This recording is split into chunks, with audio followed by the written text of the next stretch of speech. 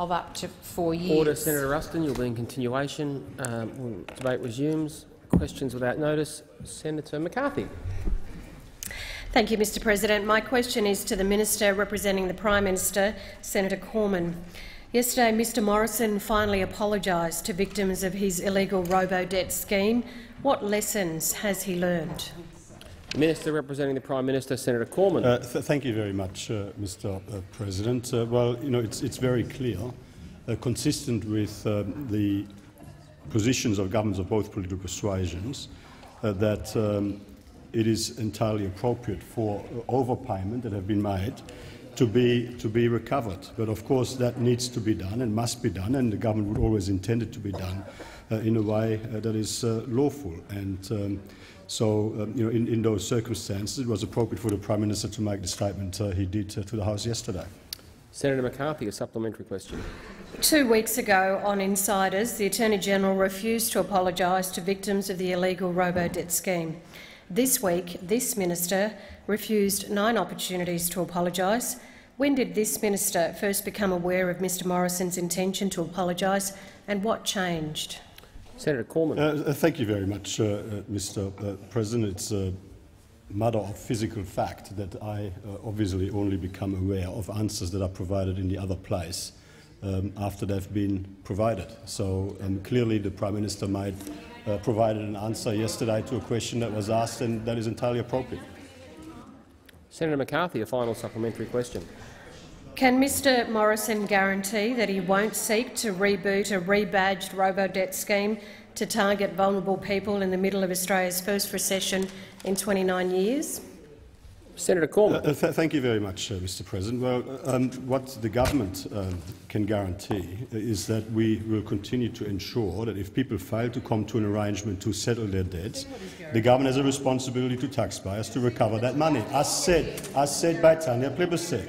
And of course, we know that Mr. Shorten, uh, Mr. Shorten supported the automation of this process, and we know that, and we know that Chris Bowen also supported uh, that principle.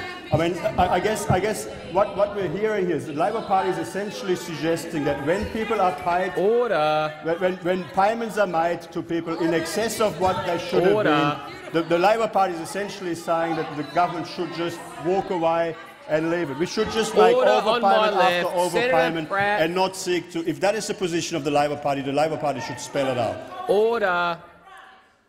When I call senators to order, the informal rule is they must count to 10 before they start inappropriately interjecting again. Senator Davey.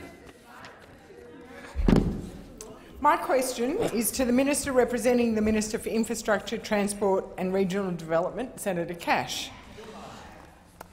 How is the Liberal and Nationals government driving economic recovery in our drought-affected regions by supporting the rebuilding of their businesses, their job markets and their confidence following the triple shock of bushfires, drought and the economic impacts of the COVID virus. The Minister representing the Minister for Infrastructure, Transport and Regional Development, Senator Cash.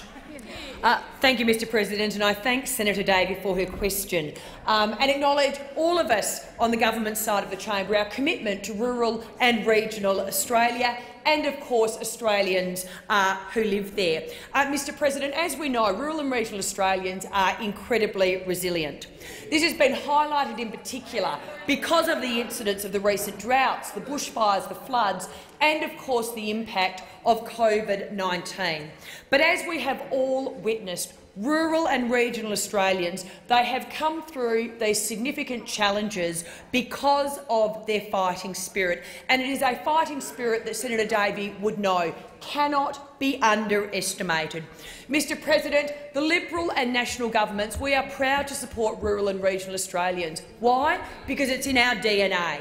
Last week, the government announced that drought-affected communities across Australia will benefit from 163 local infrastructure and community building projects as part of a $207 million investment under round four of the Australian Government's Building Better Regions Fund.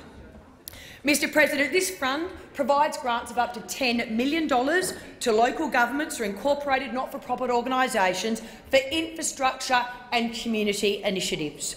The fund invests in community projects that create jobs, drive economic growth and build stronger regional and uh, rural communities into the future.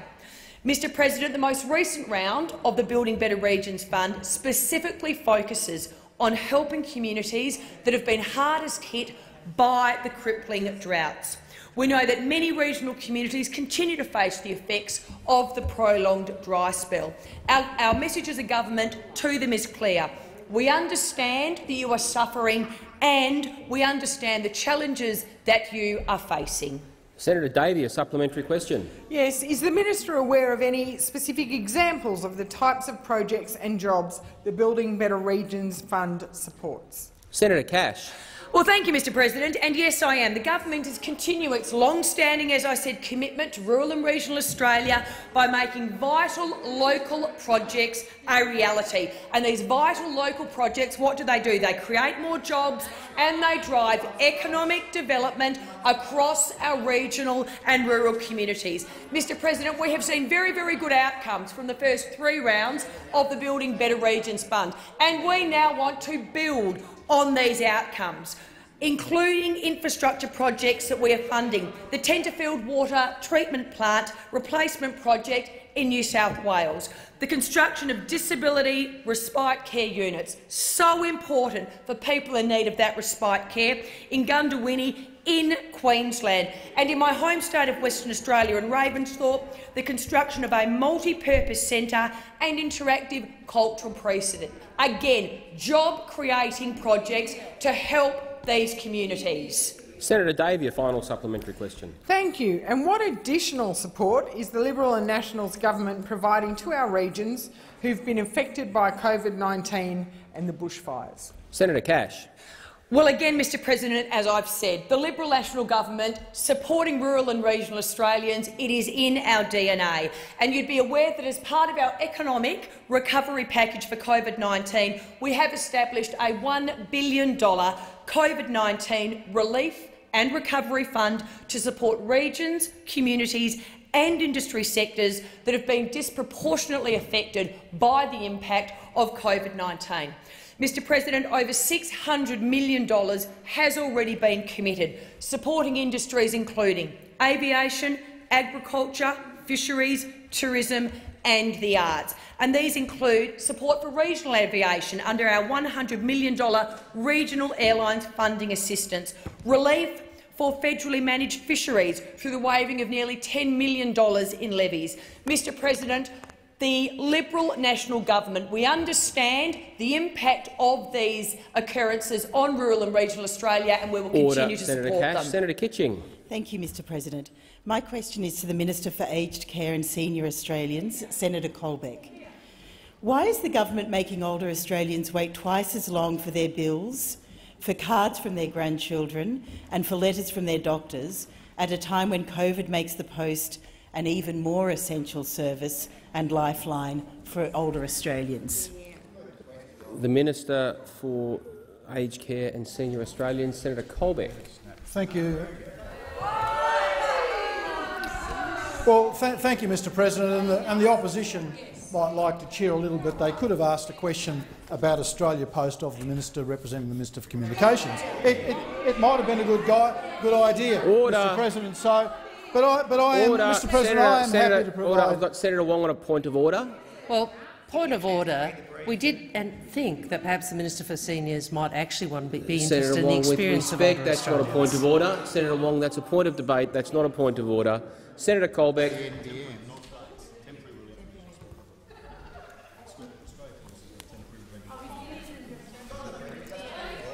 Thank, thank you, Mr President.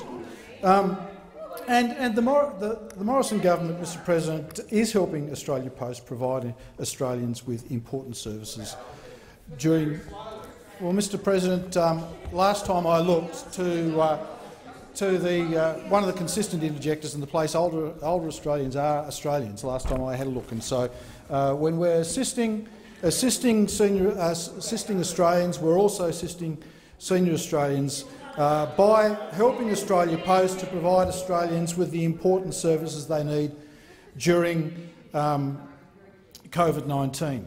Uh, and Mr President, the, the COVID-19 pandemic has, has intensified a number of existing trends, with letter volumes declining and parcel volumes jumping. Parcel volumes are up 64 per cent in April year on year, and letter volumes down 36 per cent year on year. 200,000 new households are shopping online. In response to Australia Post's request, Mr President, the, Austra the government has temporarily adjusted elements of the Australian Postal Corporation Performance Standard Regulations 2019. Order. Senator Kitching on a point of order. My point of order is relevance, Mr President. My, the question, there was, not a, there was not a preamble. The question was, why is the government making older Australians wait twice as long when the post, during a pandemic, the post becomes a more essential service? I, I was hearing I was hearing Senator Colbeck address Australia Post directly in that part of the answer. Um, I will listen carefully, but I believe that's I believe that's relevant to the question if he was addressing the matter of Australia Post, but I'll listen exceptionally carefully. Senator Colbeck. Th thank you, Mr President. Um, and these changes are uh, temporary and, and effective until the 30th of June 2021 and will be reviewed before the end of, end of the year. This flexibility, Mr President, to retrain and deploy its workforce um, to support parcel delivery, around 600 new roles have been uh, created to assist Australia Post to Order. meet the increased demand Order. for parcel delivery. Order, Senator Colbeck. Senator Kitching, a supplementary question. Thank you, Mr President. Senator Fierravanti-Wells has raised concerns that the government did not consult with Australia Post employees or people who use the service. What efforts did this minister make to consult with older Australians about the government's proposed changes to service requirements? Senator Colbeck. Mr President, um, this, this government has worked assiduously over recent months to assist all Australians to deal with the global health pandemic which is COVID-19. And, and, and a, a, range of measures have been introduced, including, including working with Australia Post to ensure that Australia Post can manage the increased demand that is required um, as, a change of, as a result of change in Australians' habits through being Order. Senator Colbeck. Senator Wong on a point of order. Direct relevance. We actually asked this minister about his engagement. What consultation, as the minister responsible for senior Australians, did he engage in uh, uh, as, uh, about the proposed changes to service arrangements? Um, on, on, the point of order, um, Senator Wong raises a legitimate point about direct relevance in this case. However, I will be slightly broader in my interpretation of it, because that was the second part of the question. The first part did refer to consultation more generally. To be directly relevant, it is my view that uh, a minister could be directly relevant while talking about consultation about this change, not just that part of the question. But direct relevance is tighter than broadly the old definition of broad relevance, so I call Senator Colbeck to continue with that in mind. Thank you, Mr President. Can I, and I, can I just reject the, the, the, the, core basis of the allegation that uh, the opposition is making about that we're trying to make people wait longer for the services they're receiving. We've done no such thing at any point. In fact, this government, all through the period of the COVID-19 outbreak, has done everything it can to accommodate changes that have occurred, accommodate the changes that have had to have been made because of the incidence Order, of COVID-19. Senator Kitching, a final supplementary question. Thank you, Mr President. It is estimated that the government's plans will put one in four Australia Post jobs in limbo, many in the regions. Why is the government threatening the livelihoods of thousands of Australians during Australia's first recession in 29 years? Senator Colbeck. Mr President, can I again reject um, the assertions made in the question, uh, in, in, in the question from Senator Kitching with respect to uh, the government's actions. The government has been uh, working to facilitate changes that have occurred in the economy as a result of the COVID-19 pan, uh, pandemic. It's put some temporary measures in place with respect to Australia Post to assist it to meet increased demand for parcels, uh, measures that will be reviewed uh, at an appropriate period of time. So, Senator, uh, Mr President, the Labor Party can scaremonger all they like. We have done no such thing as try and make people wait longer for their parcels. We've tried to accommodate the system to, to cater for the fact that there's increased demand because of people being isolating during COVID-19. So I reject any assertions from the opposition that they might make that we've been doing anything other than trying to assist Australians manage their way through the COVID-19 outbreak. Senator Waters. Thank you very much, President. My question is to the Leader of the Government representing the Prime Minister. Today it's reported that five of the six COVID commissioners that are advising how to rebuild after the pandemic have refused to make public their declarations about conflicts of interest. But the members of the Manufacturing Task Force of the COVID Commission don't even have to disclose their conflicts of interest, even to the Department of Prime Minister and Cabinet. And yet one of the members, James Fazzino, is not only a director of APA Group, but holds around $350,000 worth of their shares. That company will build the pipeline to the Narrabri gas fields. And guess what? The task force strongly recommends that that very gas pipeline be supported by government. Will the Prime Minister now require the financial interests of all task force members to be disclosed, or do you not even care anymore about how in the pocket of the coal, oil and gas industry the government is? The Leader of the Government, Senator Cormann. Uh, thank you very much, uh, Mr President. I completely reject uh, that final uh, assertion, uh, which, is, which is wrong and which is offensive. Um, uh, furthermore, the members of the national the members of the National um, COVID Coordination Commission are distinguished Australians, and the Prime Minister expects them, of course, to manage, to manage any conflicts appropriately, and we're very confident that they will. Senator Ward Waters, a supplementary question. Yes, thank you, President. Firefighters with decades of experience working around the Narrabri coal seam gas site in the Pilliga Forest are terrified of the increased fire risk from gas flaring, particularly as climate change dries the surrounding bush while farmers are terrified of the 850 wells that threaten their water supplies in the Great Artesian Basin. Will you listen to them or to Santos, because they've donated uh, more than half a million dollars to the Liberal and National parties?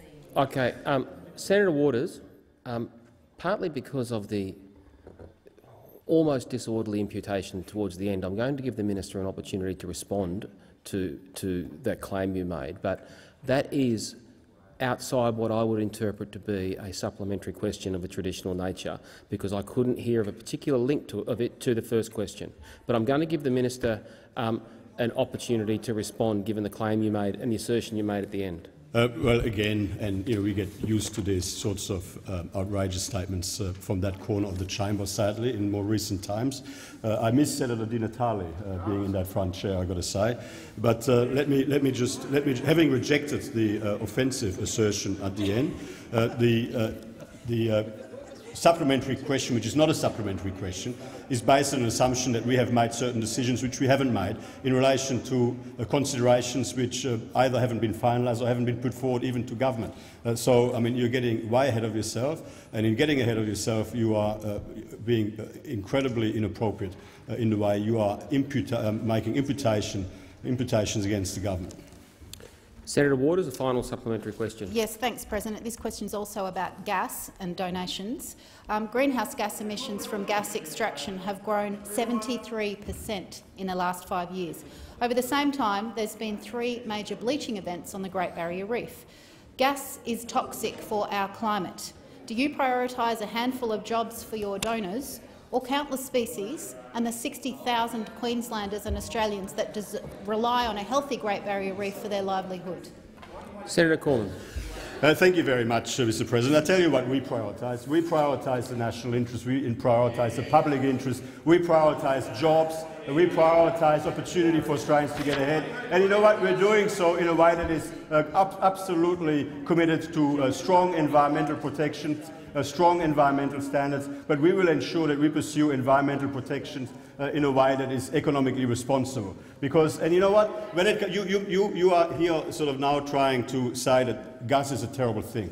Australian gas can help reduce global greenhouse gas emissions by, in particular, in particular when it displaces other uh, more uh, polluting uh, energy sources. I mean, this proposition somehow that we ought to demonize any uh, form of uh, Australian-produced energy uh, su- uh, source. I mean, it's just ridiculous. You go to the next election demonizing uh, gas production when that's uh, one, one of our very important sectors in our economy, making a productive and positive contribution to environmental protection. You go right ahead. We'll go with our set Senator of more Cormann, balanced time policy. for the answers expired. Senator Gallagher. Uh, thank you, Mr President. My question is to the Minister representing the Treasurer, Senator Cormann.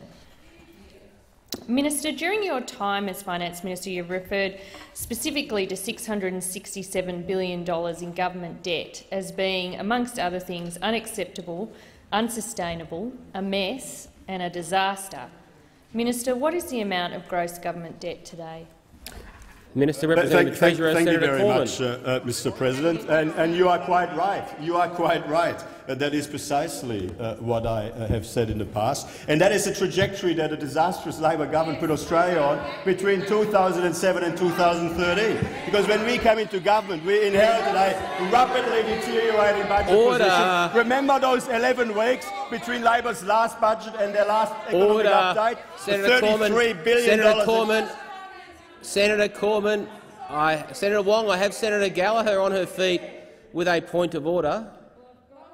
Point of order is um, not only relevance but also um, understanding Order 73.4 that the answer should not be debated, um, Mr President, but the question was very straightforward. What is the amount of gross government debt today? Um, and the, the, the, the preface, to be fair, Senator Gallagher, contained assertions about quotations made you used of the minister. He is allowed to directly address those and be directly relevant.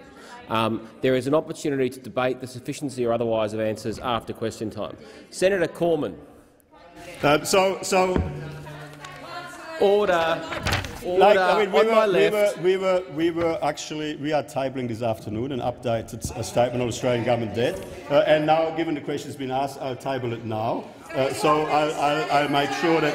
And, and here we are. Let me tell you, it is much less than it would have been if we hadn't fixed your budget mess. It Order. is much less than it would have been if we hadn't fixed your left. budget mess. Because you know what? And I mean, we are in the middle of a pandemic. Everyone other than the Labor Party understands this. Yes, we've had to spend a lot of money in the last few months in order to support the economy, to support business, to support jobs, to support those Australians who lost their job. And there is a context to this. But let me tell you, we went, we went into. Order. Sorry, ah. sorry, Senator Keneally, I'm not. I, I, can I say something before I take your point of order?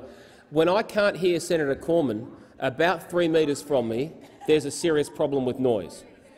So I'm going to call everyone to order on the matter of noise, and I'll call Senator Keneally on the point of order I assume she's about to raise. Thank you, Mr. President. It is direct relevance. The minister uh, says he has the answer. He's unwilling to say That's it not a point of order. That, to Senator chamber. Keneally, so please resume your him, seat. Please resume your seat. I am not in a position to rule on the relevance or otherwise of an answer I was struggling to hear over my own voice and probably 50 members of this chamber. Senator Cormann. Thank you very much, Mr. President. Debt is much less than it would have been if we had not fixed Labor's budget mess. I mean, the Labor Party at the same time accuses us of cuts that are too too hard. Then they say we should spend more on everything, and then, and then they say, and then they complain that the debt is too high. Like, let me tell you, the debt is much lower than it would have been under your government. Order. And- and Senator it is Watt. Under under our government. Senator Watt in particular. we have we have we have reduced your unsustainable spending eh. growth when you when you oppose us every step of the way. Every step of the way, and Australia went into this pandemic in a stronger fiscal position as a result of the work we did, and the Australian people know it, which is why they voted against you at the last election. Order. Order. Senator Wong, Senator Gallagher, who's on her feet. Order on my right and my left. Ah, well, order. Se- I'll, I'll call when I... Order. Senator Gallagher. Oh, thank you, Mr President. For the benefit of senators, um, as the minister won't say it, I, I will say the number. It's $673.4 billion today. Order. Minister, can you confirm that gross... Order. Sorry, Senator Gallagher, please. It is your own colleagues, Senator Gallagher, that are preventing me hear your question, which will make it hard to rule on the likely points of order. Senator Gallagher. Thank you. Minister, can you confirm that gross debt has increased by $393 billion on your watch and that a staggering 288 billion of this was incurred before the COVID-19 borrowings began. Senator Cormann. Uh, thank you very much, Mr. President. I, I, can, I can confirm that debt continued to increase because of the spending growth trajectory that Labor had locked into legislation when we came into government, when we came into government, and that Order. the debt grew by less as a result of the work that we did, as a result of the work we did. And I can also confirm that the Labor Party clearly has been living under a rock because, because they don't understand why we've been forced to spend as much as we have in recent times. And let me, let me ask the Labor Party, which, which, which program do you think we should scrap? JobKeeper or Job Seeker? Should we, should we cut the Job Seeker payments in half? Is that what you're suggesting? Because that is the, the implication of your question is that you don't want us to uh, spend the money we're spending on supporting business, on supporting jobs, on supporting the economy. You are completely out of touch and the Australian people know it. There's probably we're about to prove Senator Wong. We seem to be proving why we don't sit Fridays. Can I ask senators? Can I ask senators to at least take a breath? I am struggling to hear Senator Cormann's rather booming voice. Senator Gallagher. Thank you, Mr President. As the Finance Minister, who has now delivered six budget deficits and more than doubled the debt, would you describe today's gross government debt figure as unacceptable, unsustainable, a mess and a disaster? Senator Cormann. Th thank you very much, Mr. President. The Labor Party left a mess. We put the country on a stronger fiscal foundation trajectory for the future. Look, Senator, Senator Wong talked Watt. about spending. Let me tell you, spending as a share of GDP was heading way beyond. We, we brought spending as a share of GDP down below the long-term average. You were running it in ex past 30 percent as a share of the share of the economy according to the intergenerational report. Let me tell you, the Labor Party position is completely inconsistent. They are arguing for more spending, fewer cuts, but somehow think that that is going to lead to less debt. Well, let me tell you, your positions of fewer cuts and higher spending would lead to higher debt. Like that is basic mathematics. And I know that that is not something that the Labor Party understood uh, in government. That is not something that the Labor Party understood in government, which is why when we came into government, we inherited a seriously, rapidly deteriorating uh, budget position. I mean, your revenue forecasts were based on absolute, like, I was going to say something rude. Uh, Order, Senator unreliable Cormann. Time for the answer has expired. Order. Order. Order. Senator Hanson. Thank you very much, Mr President. Order. My question is to the Finance Minister representing the Treasurer, Senator Cormann. Minister, the Treasurer approves 99.9 per cent of all acquisition proposals that are first considered by the Foreign Investment Review Board.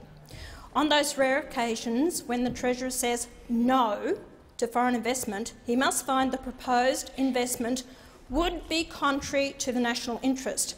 The current legal framework which can stop foreign ownership of critical or essential Australian assets, does not include the ownership of surface or groundwater. As a result of unlimited amount of water can be foreign-owned in Australia, at the end of 2018, the ATO reports 10 per cent of all water entitlements in Australia are in foreign hands. Minister, is there any percentage of foreign ownership of water that would cause the government to consider it contrary to the national interest? Senator Cormann. Uh, th thank you very much, uh, Mr. President. I thank Senator Hanson for that question. The first point I would make is that um, Au- Australia does rely on foreign investment in order to uh, reach and meet uh, our uh, economic growth opportunities. Um, we are a capital uh, importer in order to develop our economy, and though it is important that uh, any foreign investment is not contrary to the national interest, and we've got a well-established framework in place to uh, review foreign investment review uh, proposals, uh, foreign investment proposals to ensure that they are not uh, contrary to the national interest. I mean, that uh, scheme broadly has been in place since 1975. In more recent times, a number of reforms have been announced in relation to this, fundamentally to, I guess, uh, strengthen the level of scrutiny uh, in the context of relevant proposals coming forward. We've made some temporary adjustments in the context of the COVID-19 crisis to ensure that Australian businesses at this difficult uh, time were uh, protected from the threat of uh, you know, inappropriate uh, foreign takeovers at a time of comparative um, weakness and challenge. Uh, but, and we've also recently made some very significant reform announcements in relation to national security uh, sensitive uh, businesses. And uh, critical infrastructure is, um, of course, one of the uh, areas also that we've put some additional safeguards and powers for the Treasurer in, in, into, this, into this framework. I don't believe it would be useful to provide arbitrary targets around you know, what uh, would be or, or, would not be a desirable level of foreign investment in relation to a particular asset class. I think we've got to determine on whether or not there is uh, a on whether there is a, um, particular um, uh, reason why a, a, particular investment would be contrary to the national interest, and, and ultimately there's a high level of discretion for the Treasurer to make relevant judgments in this place. But let me just conclude on, on this point. Foreign investment is very important for our future economic growth uh, uh and success and for the opportunity. Order, Senator Cormann. Senator Hanson, a supplementary question. Thank you. In 2014-15, DFAT and the ABS compared major majority foreign-owned business with Australian business and found over 50% of wholesale businesses, 40% of manufacturing, 36% of mining, 25% of electricity, gas, water and waste services in Australia are foreign-owned. Is there any level of foreign ownership contrary to the national interest in any essential industry or service that would concern this, this government? And if so, what percentage would that Order. be? Senator Hanson. Senator uh, th Thank you very much, uh, Mr President. Look, I am not aware of the uh, sources of the data that Senator Hanson is uh, um, quoting there. I'm happy to uh, review and engage in a conversation in relation to these matters. What I, what I would say is that foreign investment uh, contributing uh, to the growth of businesses uh, around Australia and the growth of jobs around Australia uh, is something that uh, helps provide uh, increased opportunity for Australians to get ahead, for Australians uh, to um, get a job, get a better job, pursue a career, and that is something that is very much in our national interest. Senator Hanson, final supplementary question. Thank you. On the 1st of January 2020, China introduced its foreign investment law based on a negative list of industries provinces and cities where no foreign investment is permitted. Where foreign investment is permitted, a Chinese company must have a controlling interest. Will the government introduce a similar approach for the Chinese investment in Australia? Senator Cormann. Thank you very much, uh, Mr. President. That is not something that we're considering. I mean, we've uh, recently uh, announced the uh, you know, most substantial reforms to our foreign investment uh, review arrangements in about you know, in nearly 50 years uh, you know, we, we, do think it's important for us to continue to facilitate um, foreign investment into uh, Australia as long as it's not contrary to the national interest. And we do believe that the framework that we have in place has stood Australia in uh, good stead. Senator Fawcett. Order. Senator Fawcett. Thanks, Mr President. Senator My question is for Senator Reynolds, the Minister for Defence. Minister, could you outline to the Senate the importance to Australia's national security of a submarine capability, and in that context the importance of Project SEA 1000, the future submarine? The Minister for Defence, Senator Reynolds. Uh, thank you very much, Mr President, and thank you, Senator Fawcett, one for the question and two for your enduring passion and commitment to this important capability for our nation. The first responsibility of any Australian government is to keep Australia and Australians safe.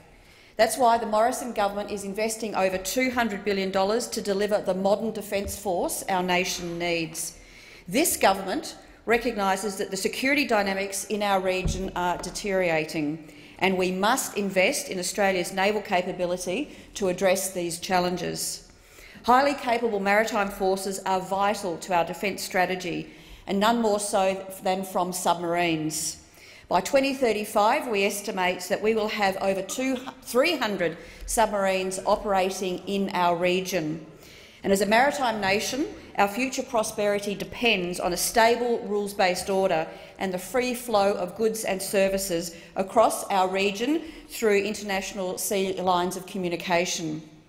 This government's Australian naval shipbuilding enterprise is unprecedented in both scale and ambition.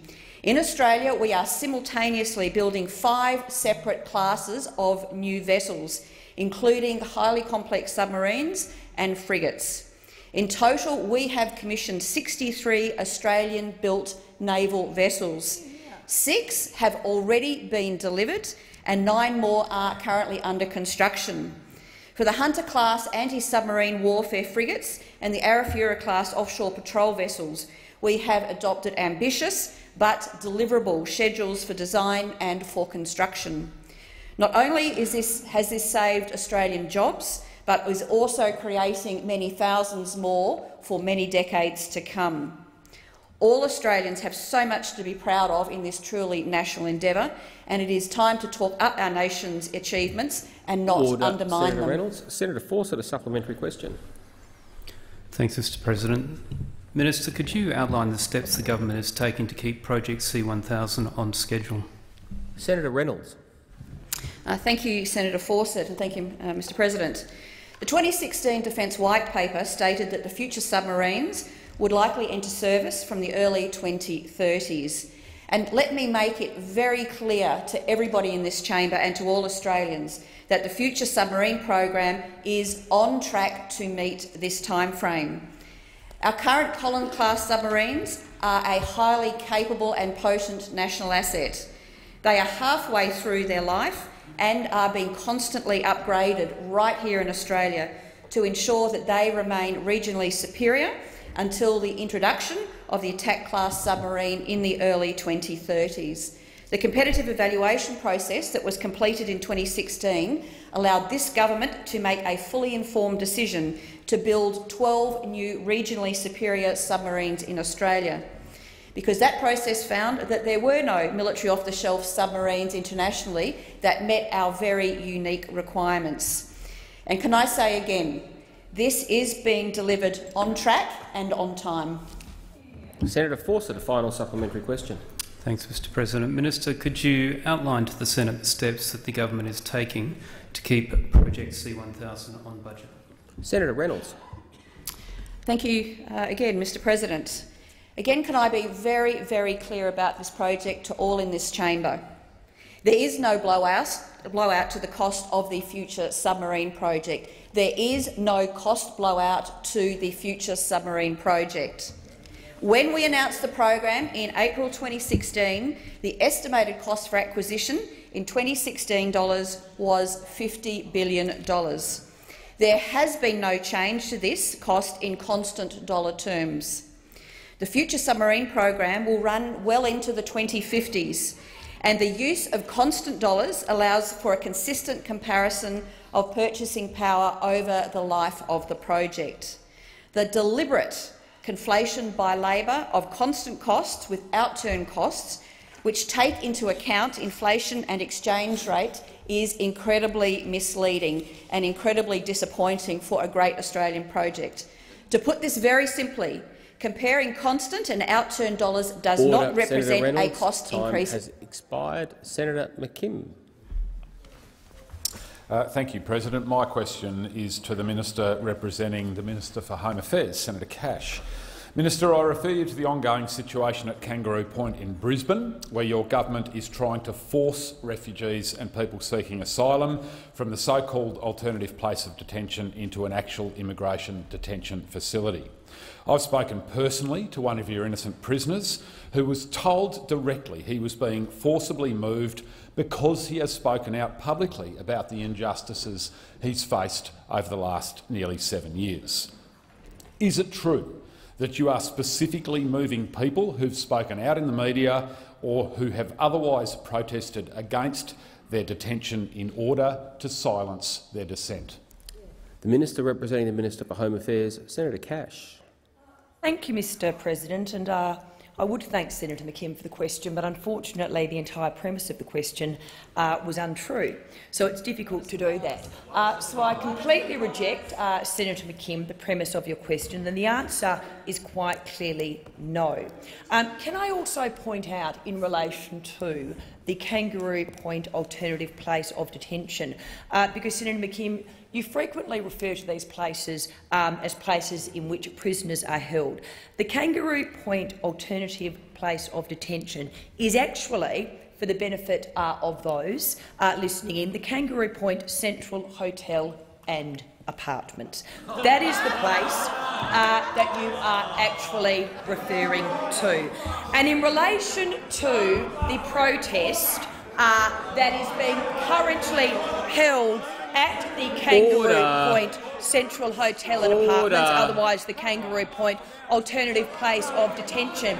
Can I just advise Order. for the benefit I'm struggling of to hear the Minister. Chamber that are, Mr President, decisions to move detainees between these facilities are made independently by the Australian Border Force. And as Senator McKim would know, these decisions are made for a number of reasons, including to manage numbers in each facility, for health uh, reasons and to ensure the safety of detainees, staff and the public. There are protests outside the Brisbane facility. Now, for the benefit again of Senator McKim, the man at the centre of these protests, oh goodness gracious, is Brisbane Greens councillor Jonathan Sri. Mr President, for the record, Mr Sri or Brisbane Greens councillor Jonathan Sri's actions are completely, totally and utterly unacceptable for a public official. And I would hope that Senator McKim would agree. Senator McKim, order on my right. Senator McKim on a supplementary question. Well, uh, thank you, President. I congratulate Mr Sri for his uh, recent actions and his outstanding result in, uh, in recent elections, I might add. Minister, Minister, how is Home Affairs deciding who to move? Senator Cash. Well, Mr President, if Senator McKim had listened, which clearly he didn't, uh, to my first answer, he would have heard me say decisions to move det detainees are made independently by the Australian Border Force. But let me order. just... Uh, Senator, I've got Senator McKim on a point of order. Senator Uh, McKim. uh, thank you, uh, President. Point of order is uh, relevance. What we got is a generic answer to an absolutely specific question in regards to the actual circumstances that are pertaining right now Sen- as we debate this matter. Senator- the question is, how has Home Affairs decided who to move specifically? So, I, in I- regards the, to this the- situation. the second part of your question I have written down is how is Home Affairs deciding who to move? That followed a preamble that you're responding to the minister's previous um, conclusion, concluding comments. Now, the minister can, was speaking for 10 seconds and had uttered one sentence. Um, it did actually that sentence did actually refer to the movement of people. I can't make a ruling on direct relevance. I cannot make a ruling on direct relevance 11 seconds in and one sentence in. I can't instruct a minister how to answer a question, but I do remind senators that ministers can be directly relevant, responding to preambles as well as questions. Senator Cash. Thank you. And I would like now to address uh, Senator McKim's preamble, because in that preamble he actually congratulated Greens councillor Jonathan Sri. Well, let me tell the chamber what Greens councillor Jonathan Sri has been doing. Uh, what he is doing is inciting a protest whereby people are jumping on vehicles and a delivery driver was confronted by protesters who insisted on searching his vehicle. Protesters, and I again note the congratulations of Senator McKim, are also breaching colleagues' social distancing restrictions. Now, what is that doing? What is that doing? Risking the spread of COVID-19, not only amongst the community, Senator McKim, but amongst the people that you are allegedly standing here and expressing fake concern Order, for. Senator Cash. Time has expired. Senator McKim, I believe, has a further supplementary. I, I do, President, thank you, and I will put this with zero preamble. Minister, how has Home Affairs decided exactly who to move from Kangaroo Point to BITA? Senator Cash. Uh, thank you, Mr President. And again, Senator McKim, I will repeat uh, the answer to both the primary question to the first supplementary, which is now the same for the second supplementary. Order. Senator McKim, on a point of order. Yes, again, President, the point of order is relevance. This is farcical. Um, my question was very specific, and a generic answer does not answer the question and ought not be considered relevant to the question. Well, uh, what, what ought or may not be considered relevant is um, uh, the rules are set by the Senate. Now, the Senate minister was alluding to a comment that the minister was about to make. The minister has to be strictly and directly relevant to what you raised, which was a very specific question. But my, I do not have the ability to, instruct a minister how to answer the question. There's an opportunity after question time to debate it. But it was a specific question, and I will constrain the minister's comments to be directly relevant to the terms and the question you asked. Senator Cash. And as I stated, decisions to move detainees between facilities are made independently by the Australian Border Force. Senator McKim. Order. Once again, that is an irrelevant response, Senator, uh, well, President, not relevant to the question. Well, no, no, Senator McKim. Firstly, the minister has concluded her answer, so I can't take a point of order. Secondly, I do not believe that answer, despite the fact that you consider it to be unsatisfactory, is not directly relevant because it goes to the movement of people. You are asking for the content of an answer. You can debate that answer, but I cannot instruct a minister that that statement is not directly relevant. There's a time to debate it, and that is for others to judge. Senator Watt. Thank you, Mr President. My question is to the Minister representing the Minister for Drought, Agriculture and Emergency Management, Senator Ruston. Yesterday, the government announced that it was committing $11.5 million to mental health support for emergency services workers who were impacted by the recent devastating bushfire season. Yesterday's announcement was in fact just a re-announcement from the $16 million in mental health funding the government announced in January. Why has the government's mental health support for emergency services workers to date been two press releases and not a single dollar spent? The Minister representing the Minister for Agriculture, Drought and Emergency Management, mm. Senator Ruston. Uh, thank you very much, Mr President, and thank you very much uh, uh, to the senator for his question and his ongoing interest in the bushfire recovery uh, and helping our bushfire-affected communities across uh, Australia, which I can say that the, uh, the federal government, the coalition government, the Morrison government uh, is absolutely committed to helping uh, Australians that have been impacted by the bushfire, and which is why we continue to invest money in this recovery. And we also acknowledge, as, uh, as you do, um, as well, Senator, that uh, the bushfires in 2019-20 have taken a very serious toll on the mental health of of Australians. Um, it's taken a very traumatic emotional toll on those people that were infected in those communities. Uh, I know uh, firsthand from the communities that I have had uh, involvement with in South Australia uh, that it was a very tragic and terrifying time, and the impact lingers on, exacerbated even further by the fact uh, that they have now had to contend with the implications and the consequences uh, of the, the actions that have had to be taken around the coronavirus um, pandemic. The government has committed over $100 million in mental health supports for emergency personnel, for individuals and communities impacted by the Black Summer bushfires. Uh, these include $76 million for a bushfire recovery mental health package announced on the 12th of January this year, and that package included free access to counselling in bushfire-affected areas, Medicare rebated psych uh, psychological support, including via telehealth, which is particularly relevant given the COVID crisis, money for primary health networks for additional services and to administer grants into local communities, and specific support for emergency service workers and their families. In response to the need for more community-based support, the government has since announced an additional $13.5 million uh, for primary, um, primary care uh, into the primary health networks. And this is very, very specific. Order, Senator Ruston. Senator Watt, a supplementary question. Can the minister confirm that yesterday's $11.5 million announcement represents a $4.5 million cut to the $16 million already announced for mental health support for the same emergency services workers? Senator Ruston. Uh, well, in direct answer to your question, no, I can't, Senator Watt, uh, and I'm not going to. But what I would say to this chamber, following the question that I received yesterday, is, Senator Watt, you can be very, very loose with the facts. Very loose with the facts. Order. Yesterday you, you came in this place and you accused us of only providing um, uh, support, uh, and you, I think you quoted a, a number of 4 per cent of Australians living in bushfire-affected communities have been able to access government support. What you failed to mention yesterday, Senator Watt, was order, Senator. I've got Senator Wong on a point of order. Mr. President, how is this directly relevant? Well, I don't, I don't have a habit of, in, as they do in the other place, of interrupting ministers' answers. I wait for senators to no, no, I, I'm posing the question. This is if the minister wishes to make, she has plenty of opportunities as a minister. If she wants to debate Senator Watt, I'm happy to stay and watch that. But if she could answer this question, not argue the, yesterday's question, which she was unable Order. to answer. Order. I'm pleased you found The your minister- brief since yesterday. The minister is entitled to challenge the assertions or assumptions in a question.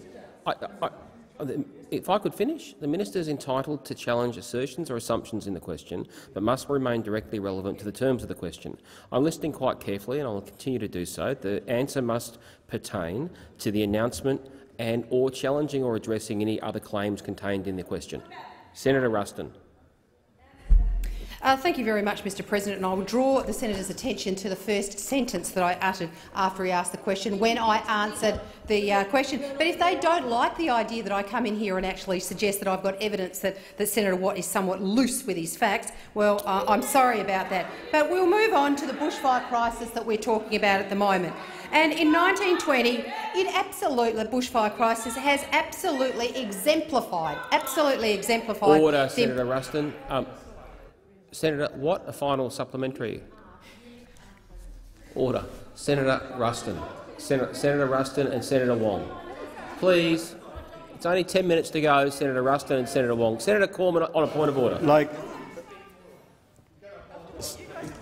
interjections are disorderly, and the worst culprit when it comes to constant and relentless interjecting and personal interjections as well is uh, the leader of the opposition. And I ask you to call it to order. I am. I. I have said before that there is no one in this chamber with a halo when it comes to interjections, um, but I do ask that I, Senator Wong, please, while I'm ruling, Sen uh, order. There are there are there are common interjections across this end of the chamber that I can hear. They are all disorderly, and we'll continue question time with Senator Watt's question if they cease. Senator Watt, a final supplementary question. Thank you, Mr President. I'm, I- I'm happy to table the article that cites the 4 per cent figure after question time. In January, Mr Morrison promised that relief would be immediate. Why did the government go five months without spending a single dollar from the $16 million announced in January for mental health support for emergency services workers? Why is this government constantly prioritising marketing and re-announcements over the needs of people affected by the bushfires? Senator Ruston.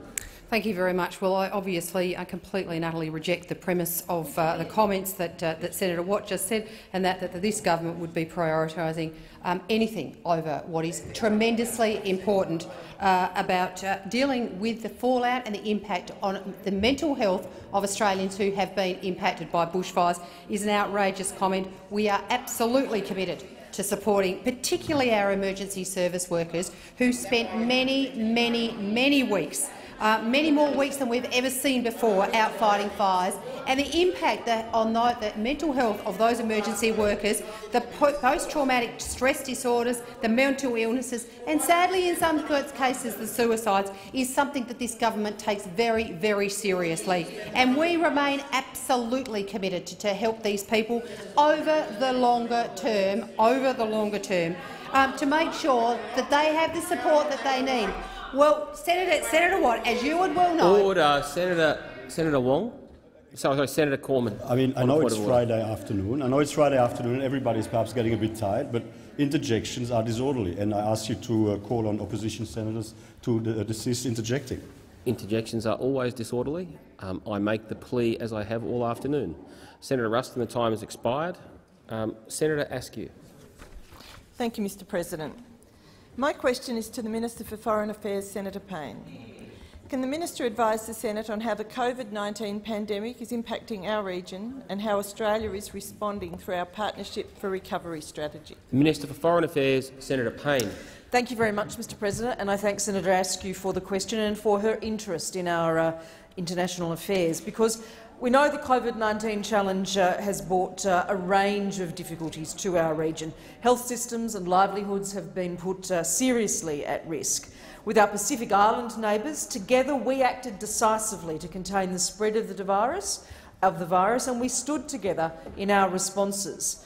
We're working with partners in the Pacific Island Forum to support a Pacific humanitarian pathway to move essential humanitarian supplies and workers. I'll meet again next week with my counterparts in the Ministerial Action Group on implementation of the pathway. And I really appreciate the support of the Tuvalu Foreign Minister, Simon Kofe, and the PIF Secretary-General, Dame Meg Taylor, in our joint statement about the pathway on the 1st of June. Framing our response, as the senator said, we released Australia's new development strategy uh, as partnerships for recovery, focusing on the Pacific, Timor-Leste and Indonesia, and concentrating on three areas— health, stability and economic recovery. This entails a pivot of our development effort towards the immediate needs of partners in our region. Mr President, we're also making important contributions to the global response and to the recovery committing $352 million at the European Union Conference for Vaccines, Diagnostics and Treatment, and $300 million to Gavi, the Vaccine Alliance, which was indeed recognised today by a motion in this chamber, and I acknowledge uh, the support of the chamber for that. How this region comes through this crisis matters to all of us. The growth, the stability of the Indo-Pacific has provided the foundations for our own security and prosperity. And most importantly, we recognise that Australia can only do this with partners in partnership. Senator Askew, a supplementary question. Thank you. Can the minister advise how Australia's work with its Pacific and Southeast Asian partners specifically prioritises the region's economic recovery? Senator Payne. Uh, thank you, Mr President. The pandemic is having a significant economic impact. The International Monetary Fund predicts growth in Pacific Island countries will be between 0 and negative 12 per cent this year. For example, up to 70,000 tourism jobs are at risk in Fiji alone. In Southeast Asia, economic growth is stalling after five decades of rapid expansion.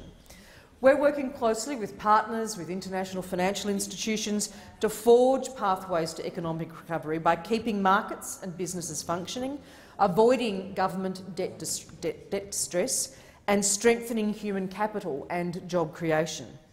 Also in Indonesia, for example, we're providing technical advice on economic stimulus and social protection measures. In the Pacific, we're delivering immediate financing support to strengthen our neighbours' capacities to provide essential services to their communities. Senator Askew, a final supplementary question. Thank you, Mr President. Can the minister update the Senate on Australia's engagement with Pacific women through the challenges of COVID-19? Senator Payne. Uh, Mr President, on the 29th of May, I was absolutely honoured to co-convene uh, a Pacific Women Leaders WebEx forum with the Deputy Prime Minister of Samoa, Fiame Naomi Mata'afa, to discuss the impact of COVID-19 on women's health, economic security and personal safety. 30 Pacific parliamentary and civil service women leaders from 18 countries. An impressive meeting in anyone's terms. Agreed to work together to explore new ways to enhance the well-being of women and girls. Contributions canvassed economic impact, family concerns, women's safety, jobs, cultural issues, thought-provoking and vital for shared understanding of the challenges. Our Partnerships for Recovery strategy is underpinned by a focus on the most vulnerable and includes addressing gender-specific impacts of COVID-19. Australia stands with Pacific women at this time. Senator Chisholm. Thanks, Mr President. My question is to the Minister representing the Prime Minister, Senator Cormann.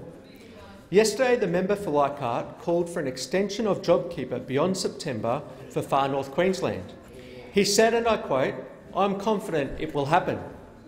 Has Mr Entsch been given any commitment by the Prime Minister about extending JobKeeper in far north Queensland?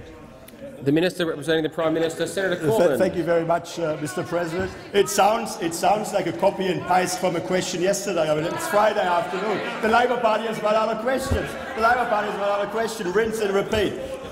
Order. Senator Gallagher, Gallagher on a point of order. Yes, Mr President. My point of order is that if the Leader of the Opposition continues to uh, replace substance with volume, you may need to revisit the social distancing policy Order. in this chamber. Senator Senator Cormann.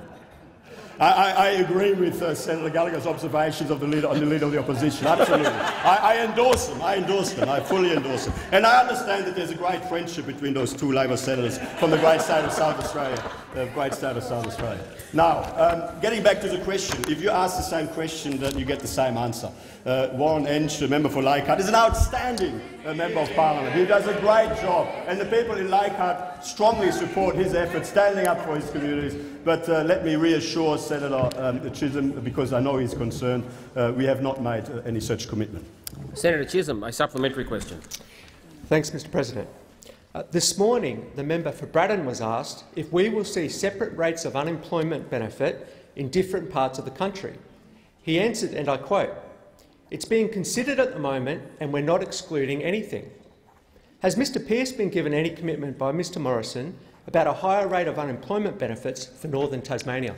Senator Cormann. Uh, thank you very much, uh, Mr. President. Uh, the uh, member for Braddon, of course, is another outstanding Liberal representative, uh, fighting hard for the people of Braddon, and of course that is why that is why they gave uh, him their confidence at the last election. Let me let me also say that, of course, the government is considering on how we can provide the appropriate levels of support to Australians in need as we go through this COVID-19 impacted crisis, crisis impact on the economy. in, in relation to arrangements for job seeker and uh, JobKeeper in particular. Uh, moving forward, uh, we will continue to provide uh, support, appropriate levels of support all around uh, the country, and we'll transition out of the current elevated levels of support uh, in the right way at the appropriate time. Senator Chisholm, a final supplementary question. Yes, Mr President. On Tuesday, Senator Stoker criticised, and I quote, endless subsidies paid for using money borrowed from future generations. Has Senator Stoker been given any commitment by Mr Morrison about government debt levels? Senator uh, th Thank you very much, Mr President. It's great to see that uh, Senator Chisholm goes through all these outstanding uh, Liberal members and senators. We've got a few more. We've got a few more. And uh, Senator Stoker is, of course, absolutely right. We should absolutely minimise the burdens on future generations. And the absolute commitment that Senator Stoker has from the government, and every Australian has from the government, is that debt will always be lower than it would have been under the Labor Party. Debt will always be lower under the Liberal Party and the National parties than it would have been under the Labor Party because, because the Labor Party, they, they, of course left behind a rapidly deteriorating budget position. They left behind ludicrous revenue assumptions, like $120 a tonne for iron ore, uh, which meant that the revenue they assumed they would collect was way above anything that was ever going to be realistic, which is of course why, and, and then of course they locked in spending growth that was, not, that was not affordable. We're and you know what there. happened? We Order. fixed Labor's budget mess, and we are in a better position Across today as a result of the work we did, and the Australian Order. people know it. They know that you can't Thank handle you, money. Senator Cormann. Senator and I ask that further questions be placed in the notice paper. Hey, can't do this on Fridays anymore. Are there any motions to take note of answers? Senator Keneally. Thank you, Madam uh, Deputy President. I rise to take note of the answer given by Senator Colbeck to the senator to the question asked by Senator Kitching. The question was asked to the Minister for uh, Older Australians and Seniors because of how many senior Australians rely on and depend on our postal service. In fact, all Australians have relied on posties to deliver essential items they've needed throughout the COVID-19 pandemic. There's been a parcel boom people have turned online to, to online shopping and local providers. Now, our posties, they endure all types of weather, difficult terrain, and it goes without saying, swooping magpies. We rely on our posties, and they work hard for us. We often, though, just expect that the work they do will continue on. But now the Morrison government is wanting to rip that away. Under the cover of the coronavirus crisis and during a recession, the Morrison government are ripping thousands of Australia Post jobs away. The regulations the Morrison government is wanting to impose will let Australia Post scale back services, slash jobs and cut wages. One in four jobs gone. The livelihoods of thousands of Australians gone. Income for their families during a recession gone. Longer waits for mail and for parcels. These changes will hit regional Australia the hardest. People in regional Australia will be forced to wait even longer than they currently do for mail and for small parcels. In Queanbeyan alone, the Morrison government's regulation will slash the frequency of postie rounds by half. Mail delivery timeframes will blow out from three business days to seven business days. Now is not the time to be slashing jobs in regional Australia. Disgracefully, the government has tried to use the coronavirus pandemic as an excuse for these horrendous changes. The Minister for Aged Care and Senior Australians said the government was, quote, assisting Australians through the COVID-19 outbreak. But they're not, and they're certainly not assisting Australia's posties. The regulations will make the regulation making these changes was made by the government with no consultation. They did not speak with employees or employer employee representatives. Imagine that. Making a change is going to cost one in four jobs, cut wages during a recession, not speaking to employees or to employee representatives. This is a cheap shot at the workers of Australia Post. You can't say that you're for all Australians and then cut one in four jobs at Australia Post. The boom in parcel delivery should be an opportunity to grow jobs, not to cut them. If parcel numbers are booming, then why is Australia Post talking about redundancies? Why won't the Prime Minister work with our posties to guarantee their jobs and their futures? Why do posties and staff at Australia Post storefronts from the cities to the suburbs to the regions still have to live with the uncertainty that their jobs might be ripped away from them during a recession? The Morrison government must guarantee the thousands of postie jobs in Australia and those that service our communities. I mean, for a Prime Minister who loves a slogan, the small parcel boom should be a job maker opportunity. Instead, Scott Morrison and these cuts to Australia Post just going to show he's a job faker, not a job maker. Finally, the government has given no guarantees that the changes won't be made permanent following the coronavirus crisis. As we well know, Mr Morrison says one thing and yet he does another. You just can't trust this Prime Minister anymore. He said JobKeeper will last till September. Then he ripped it away from 120,000 early child care workers. He said robo-debt was lawful, and it turns out it wasn't. Yesterday, he apologised, something the Leader of the Government in this chamber has yet to do. He said, the Prime Minister said he'd stop the boats. Then he let in the Ruby Princess, the one boat that mattered, that led to the biggest spike in coronavirus cases in Australia, an outbreak in northwest Tasmania. Now, the Prime Minister says that these changes to Australia Post are temporary. But how do we know that we can trust him when he says that?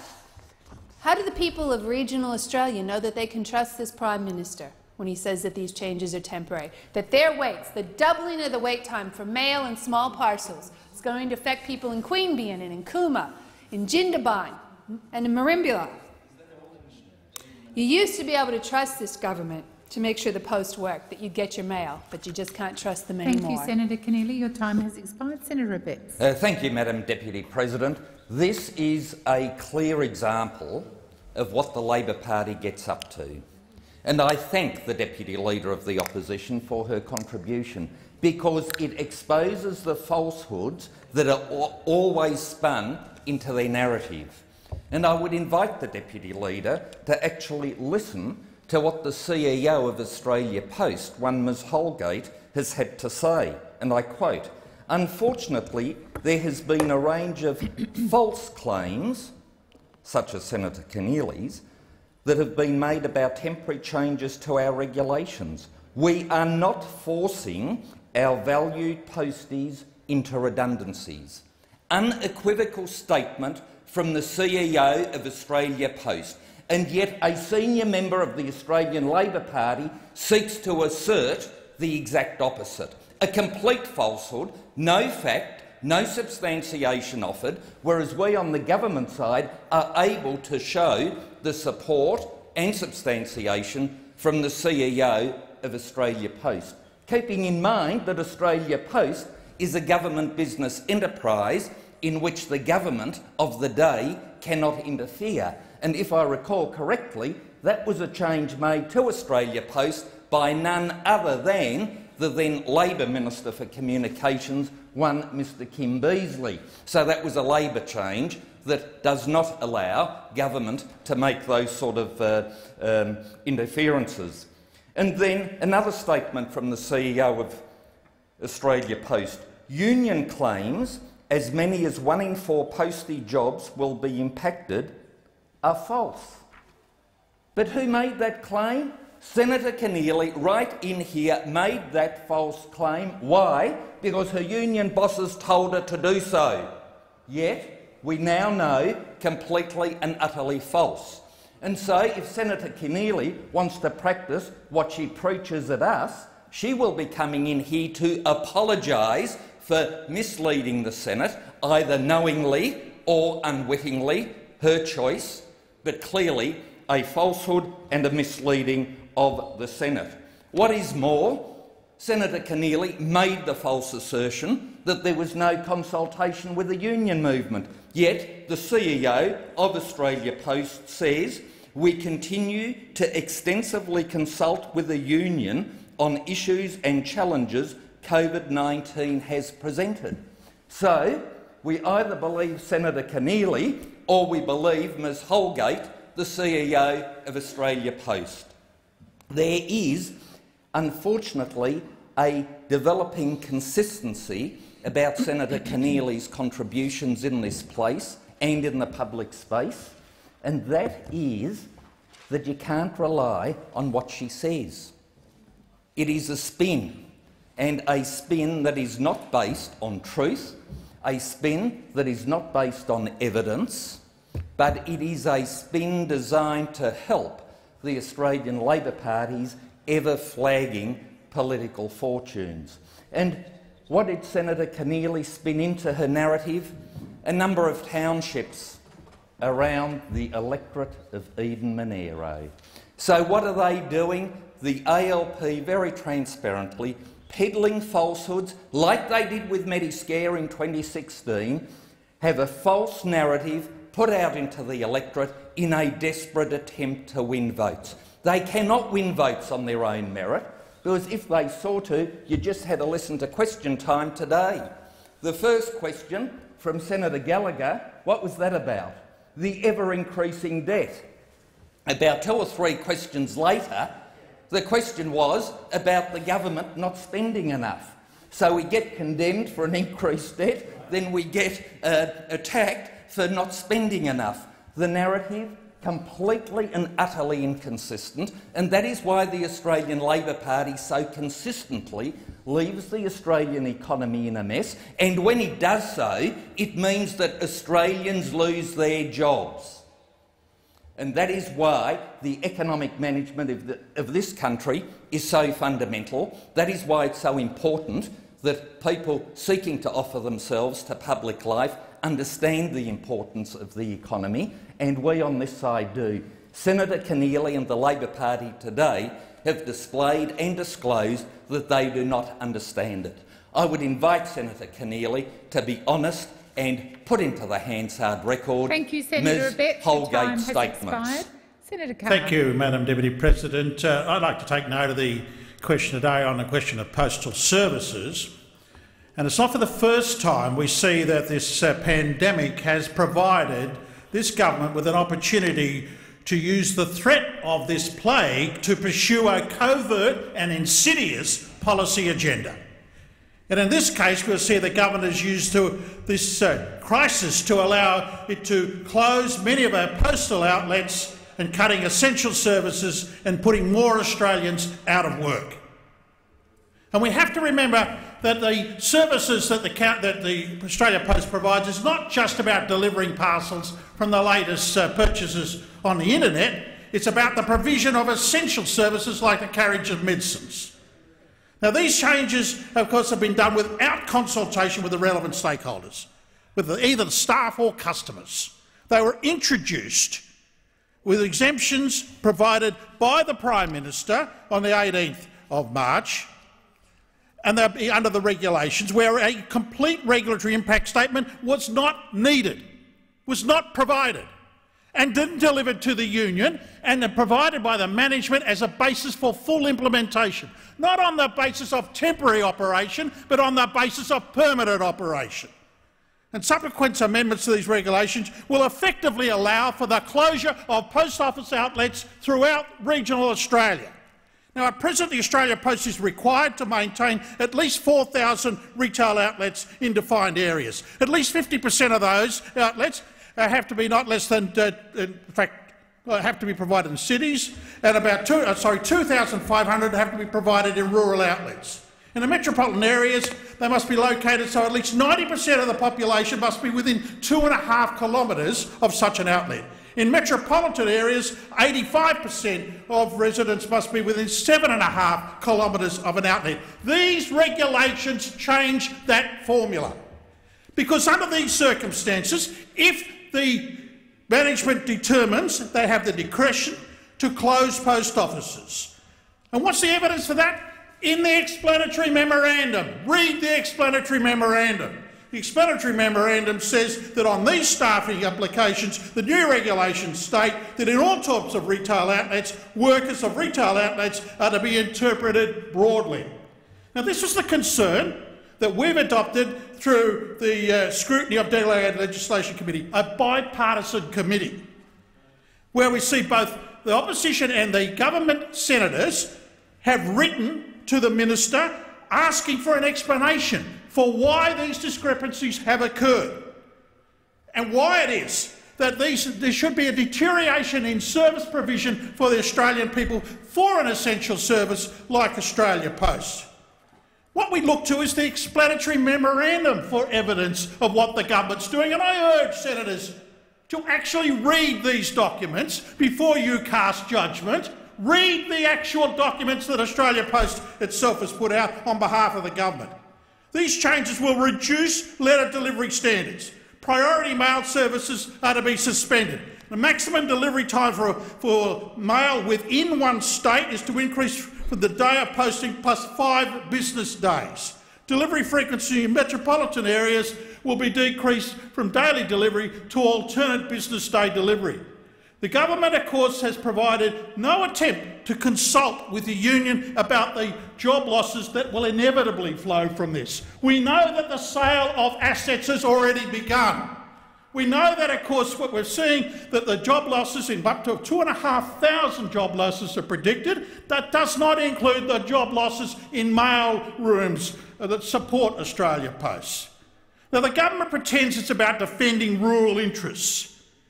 And, of course, it does not go anywhere near the consequences of the reduction of services in rural to rural communities like that that's provided by Australia Post. Australia Post remains a trusted and valued public institution. We cannot afford to allow it to be fattened up for the privatisation like this government uh, has done in so many other areas.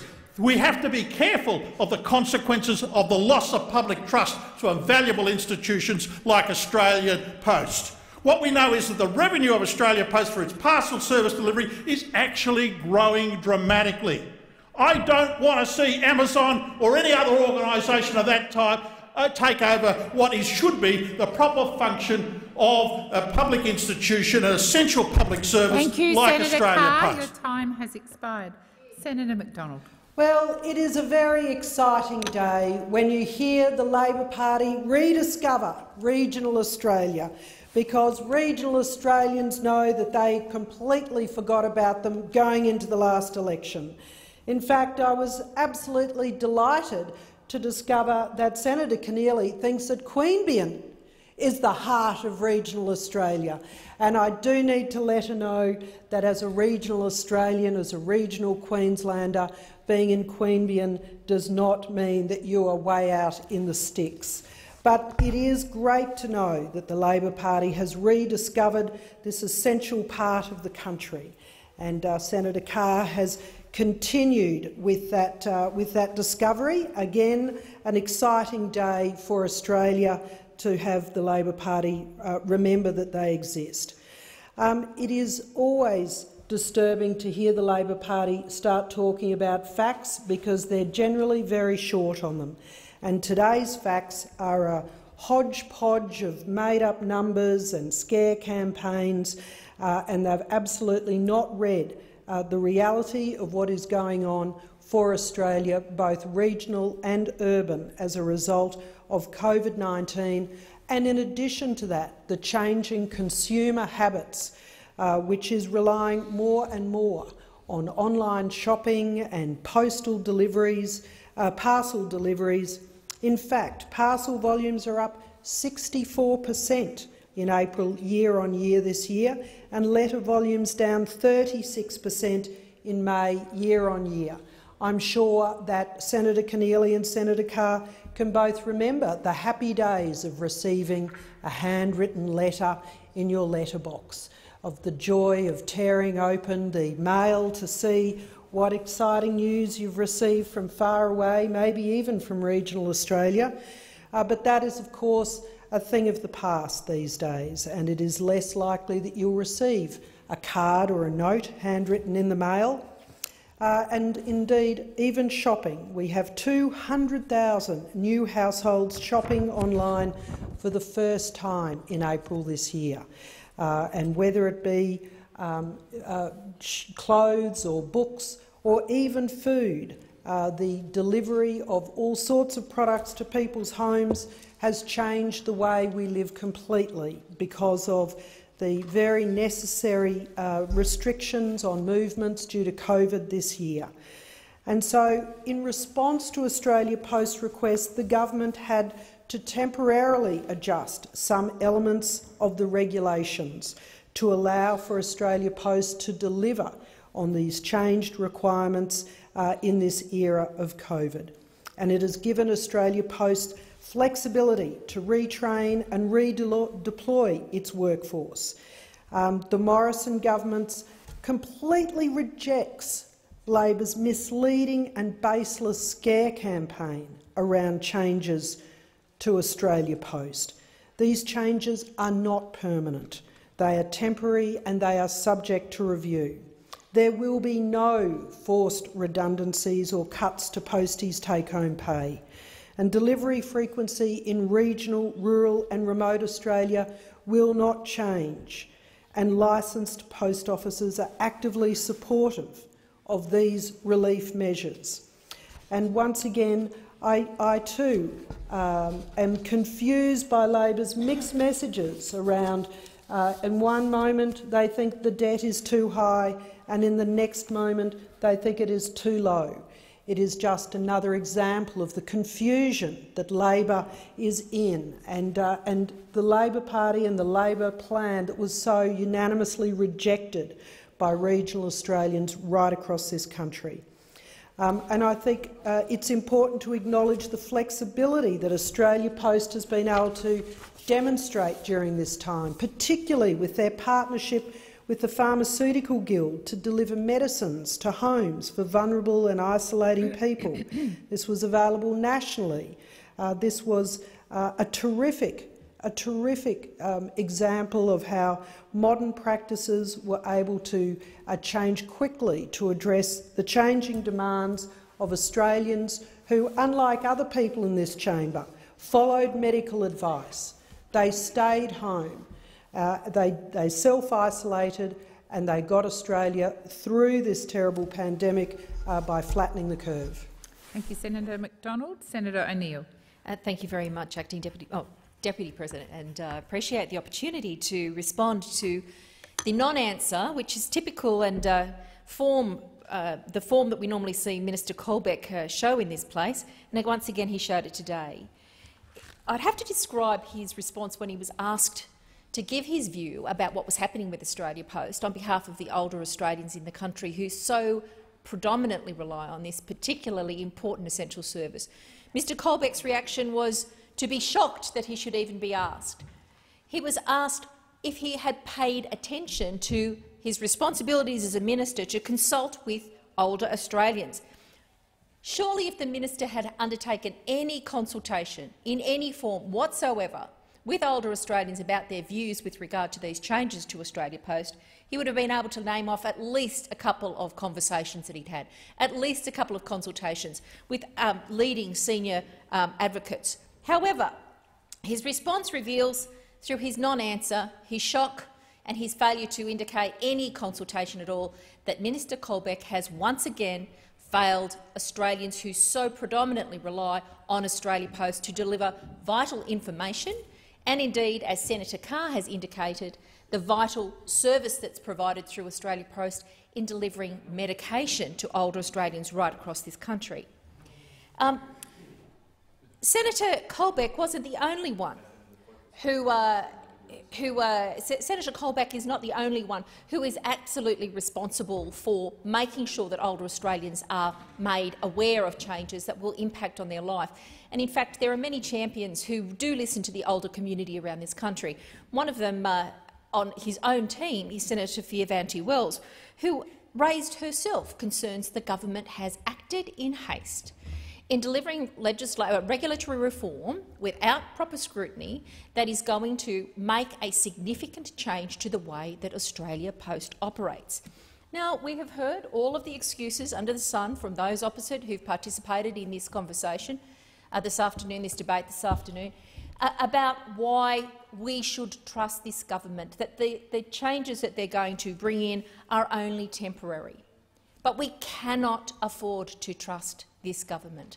This is a government just a couple of weeks ago misplaced $60 billion. This is the government that delivered robo-debt. And uh, the impact of that on hundreds and thousands of Australians is something that they should be absolutely ashamed of. This is the government that has proven over and over to Australians that it is completely untrustworthy. One of the critical things that we know from Australia Post right across this country, and particularly in regional Australia, is how central it is to every single community. The community that I live on on the Central Coast uh, has a, a very um, small post office uh, in the news agency, which is commonly the way these things are located, and it is a hub for the distribution of information around our community.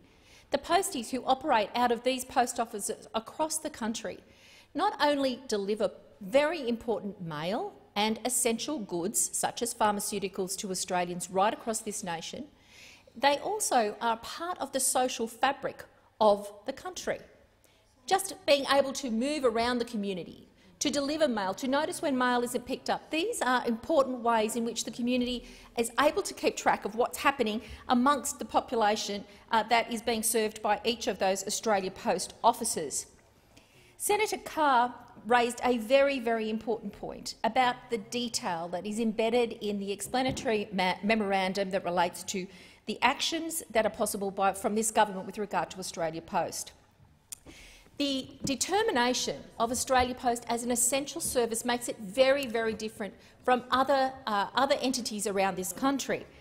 Having a, a ratio of uh, Australia Post outlets not only provides security for the delivery of those uh, for, for, the delivery of mail and also of parcels, it also provides an important distribution of an essential service. Uh, there are con serious considerations given by governments of both persuasions from time to time about how the network of Australia Post might provide additional services and access to government services. An assumption is often made by those who don't understand the true nature of access to internet in this country. Australians, not all Australians have access to internet services and uh, the sort of shopping that has been described in this debate this afternoon. People who don't have the internet are particularly vulnerable when it comes to interacting with the, part, with the, with the government and need the access to the proper service Thank delivery you, that Senator only Australia Your Post time can has provide. expired. The question is that the motion is moved by Senator Keneally to take note of answers be agreed to. Those of that opinion say aye. Against, I believe the ayes have it. Senator McKim. Uh, thank you, Deputy President. I rise to take note of the response by, Sen uh, by Senator Cash uh, to the question I asked her in question time this afternoon. Well, I asked Minister Cash about uh, the situation which is still ongoing, where uh, a number of refugees and people seeking asylum who've been imprisoned in a hotel in Kangaroo Point are being forcibly moved to immigration detention by the Department of Home Affairs. And this terrible circumstance highlights a number of issues. Firstly, how this government continues to find new ways to extend the utter despair of people who have now spent nearly seven years, most of it exiled on either Manus Island or Nauru, uh, where some still remain, uh, and others who are currently in Australia. And it's not only extending their despair, it's extending the terrible harm that it's caused to them and has already perpetrated on them for far too long. This is seven years of death, seven years of misery, seven years of arbitrary detention, seven years of arbitrary indefinite detention, seven years of deliberate harm being caused to innocent people. Ultimately, this is seven years of torture, and it is not acceptable for a liberal democracy like Australia to torture innocent people. And it ought not be acceptable for this chamber and this parliament to continue to support that torture. Now, the people in Kangaroo Point are people who've been evacuated to, to Australia because of urgent medical need. They were evacuated here under the Medivac legislation. And I spoke personally to one of the people the department was trying to move last night, and he was told directly he's being moved because he spoke out against his mistreatment. That's why they chose him. Yet Minister Cash raising question time today and denied that obvious truth. Let's be clear about this. The government has picked out people who've spoken out about their mistreatment, who've hung banners from their hotel, and it is forcing them against their will into immigration detention centres. This is being done to silence their dissent and to prevent them from speaking out about the terrible injustices that our country has perpetrated on them. And if you had any doubt whether these people are political prisoners or not, that doubt should now be moved because they are 100% certainly political prisoners. This is the stuff of a totalitarian government, not how a government should behave in a so-called liberal democracy. Instead of locking them up, why not finally end their nearly seven years of torment and let them rebuild their lives in the Australian community as we've committed to do when we signed the protocol to the Refugee Convention? And if the government's not prepared to do that, why not finally accept the kind and generous offer from the New Zealand government to resettle these people over time so they can rebuild their lives in New Zealand? How much more do these innocent people need to suffer? How many more years are going to be stolen from them? How many more families are going to be torn apart? How many more children are going to be harmed? How many more lives are going to be broken by this policy? When will it finally be long enough to satisfy the Liberal, National and Labor parties in this place? I want to thank the brave people who protested against these moves in Brisbane last night and again today. They've shown far greater leadership, far greater compassion and far greater humanity than the members of the Liberal, National and Labor parties in this place. Thank you, Senator McKim. So the question is that the motion as moved by Senator McKim to take note of answers be agreed to. Those of that opinion say aye. Against, I believe the ayes have it.